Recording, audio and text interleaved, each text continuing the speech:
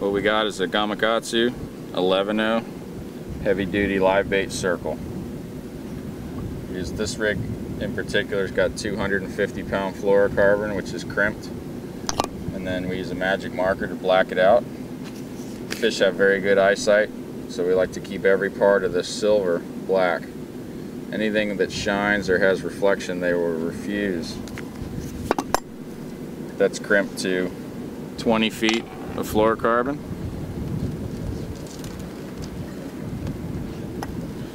Our leader is then spliced in to double Dacron.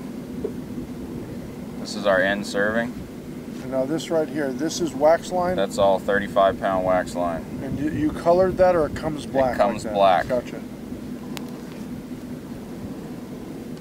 We could do another serving here at the top to a loop.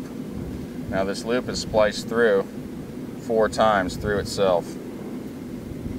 We loop to loop it here to another piece of double Dacron, about two feet long,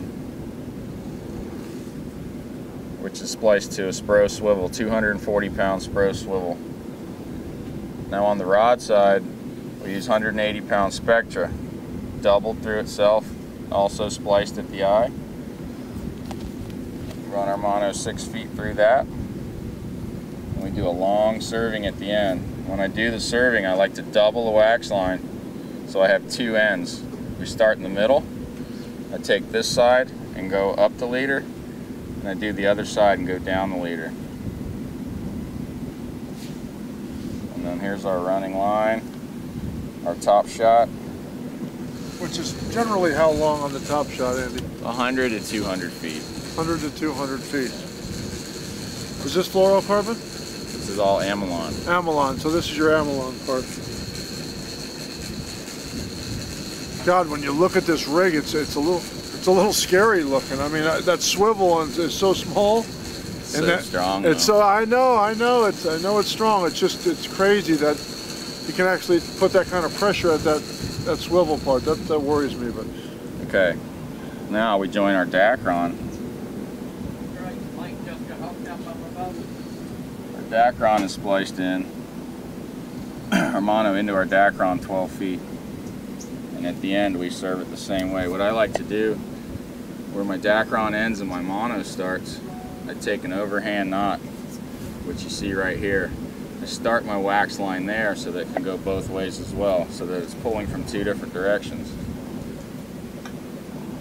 and then fill the rest of the reel with Dacron, and that's it. the um, in, in filling your reel with Dacron, you talk about.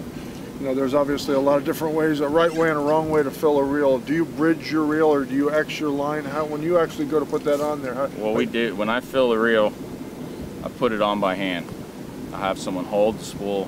We do it all by hand. That way we can check the consistency. If there's any frays or anything in it from the factory, we can cut and resplice it. Um, and then once the reel's full, when we come out to the fishing grounds or before we get to the fishing grounds, I'll let half of that spool out and wind it on again so that it gets on there tighter. so it's tight.